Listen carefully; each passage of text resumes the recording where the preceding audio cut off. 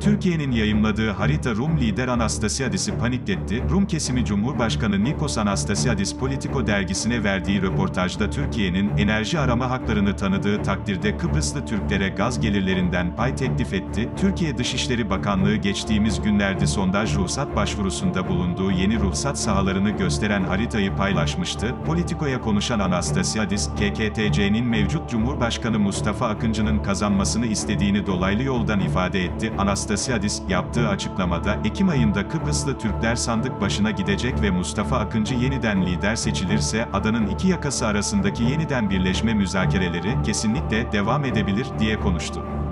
Doğu Akdeniz'de KKTC ve Türkiye'nin haklarını görmezden gelerek tek taraflı haksız girişimlerde bulunan Rum kesiminin Cumhurbaşkanı, haddini aşarak, Türkiye, Doğu Akdeniz'deki faaliyetlerini azaltmazsa, AB üyeliğine aday olma statüsünü kaybetmelidir, açıklamasında bulundu. Türkiye Cumhuriyeti Dışişleri Bakanlığı, Birleşmiş Milletler'e bildirilen Doğu Akdeniz'deki deniz sınırları içinde, Türkiye Petrolleri Anonim Ortaklığı'nın, TPAO, sismik araştırma ve sondaj ruhsat başvurusunda bulunduğu yeni ruhsat sahalarını gösteren harita haritayı geçtiğimiz günlerde paylaşmıştı. TPAO, Akdeniz'de Türk karasuları dışında sahip bulunduğu, PAFTA numaraları belirlenmiş ruhsat sahalarında 7 adet ilave petrol sahası için başvuruda bulunmuş, Enerji ve Tabi Kaynaklar Bakanlığı Maden ve Petrol İşleri Genel Müdürlüğü'nün konuya ilişkin kararı 30 Mayıs'ta resmi gazetede yayınlanmıştı.